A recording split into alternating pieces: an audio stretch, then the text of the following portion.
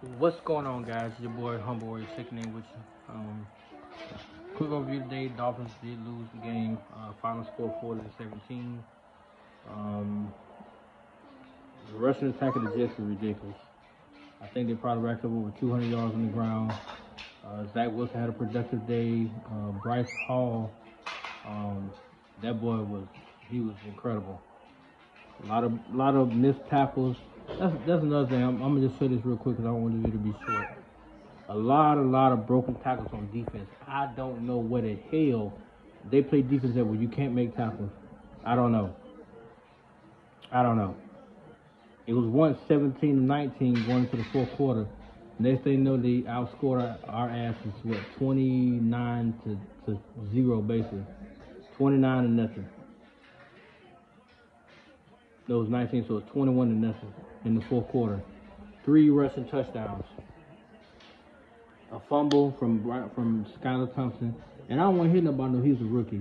Because to me, people, air, all Dolphin Nation crying about the boy, crying about him. Put him in there, put him in there. He, he'll do better than Teddy. Put him in there, put him in there. And what did he do? What did he do? Two fumbles and a pick. Two other possible picks but people want to beat up Tua about this. This ain't about no damn Tua. Tua went out the other day. It's about Skylar.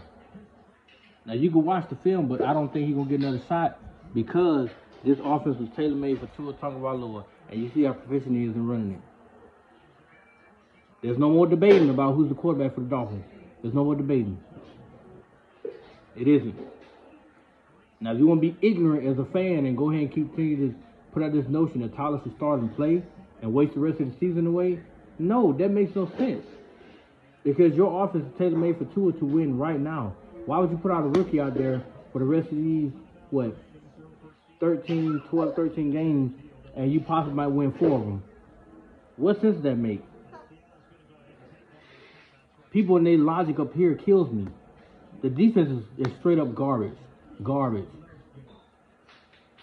They can't tackle. They can't cover. They can't seem to read offenses no more. If they do provide pressure, the corners on the islands ain't worth a damn. So the, the quarterbacks out there just eating people up. Any quarterback that goes against Miami defense is gonna look like a pro bowler. Hence Zach Wilson. Hence last week, Joe Burrow looked like he was back to his old form. Even though we kept him in check for almost three quarters. And then when Tua went down, it's like the air got sucked out the building. Oh yeah, by the way, Tua is actually doing a lot better. They said his um his X-rays came back clear, so he should be able to go next week against the Vikings. But this this is a warning shot. We look that bad. He it literally got to the point where they were just running the ball, which our running our rushing attack finally came to life. Over 100 and I think 50 yards today.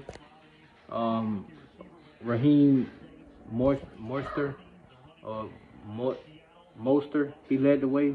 He had over 120 yards rushing and a touchdown. But outside of that, Miami is garbage right now. They're garbage.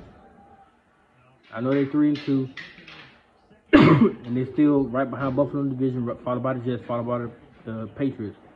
But the Jets in the message today. They got youth, and they're not. They're they're going balls to the wall. They're trying to get into the postseason.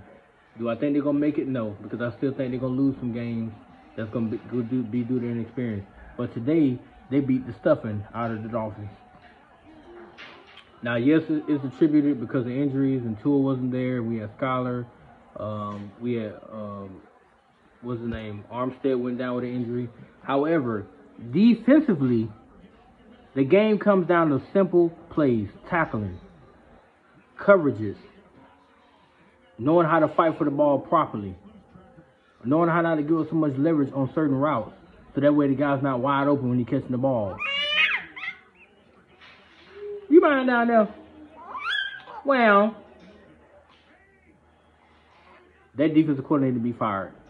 He's gonna keep it a buck. He need to be fired. Cause there's no way that you giving up easy plays. I'm talking about easy stuff. First and second down runs. Go first down because people can't seem to tackle a running back, they're too busy trying to pop the ball out of his arm. So because of that, he's running up the field.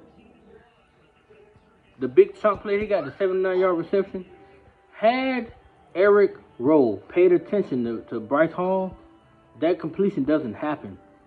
But because he was too busy staring at Zach Wilson, man got right behind him. He threw it in stride. He ran the field. The rookie, number 28, has no common sense but to get drugged to the one yard line. When all you do is tackle a man. I know he's a big man, but he'll bring him to the ground, cut his legs out from underneath him. He has no momentum. He can't drag you to the one yard line like you're his child. So I got a question for Mike McDaniel. Are you really gonna fire the DC or you gonna let this drag out all year? Because if you continue to go this route in the playoffs, you will be eliminated. Once you make postseason, you're gonna get eliminated because teams are gonna eat up your defense, and they're gonna find a way to neutralize Tua. So then what? If if, if when the Dolphins get this first round pick, damn a quarterback, defense what you need to be focusing on. You need another corner. You need a better, much more experienced line because Christian Wilkins is your only shot. And you need somebody outside of Jevon Holland that can actually make plays. Because Jevon Holland, like, he's a rookie himself out there. What? I don't know.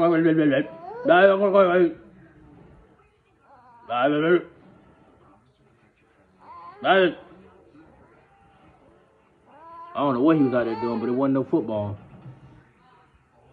So maybe this is a wake-up call. Maybe we need to get punched in the mouth, and we got KO today.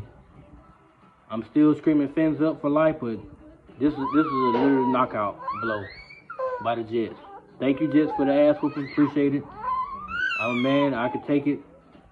But at the same time, we owe y'all this year. Remember that.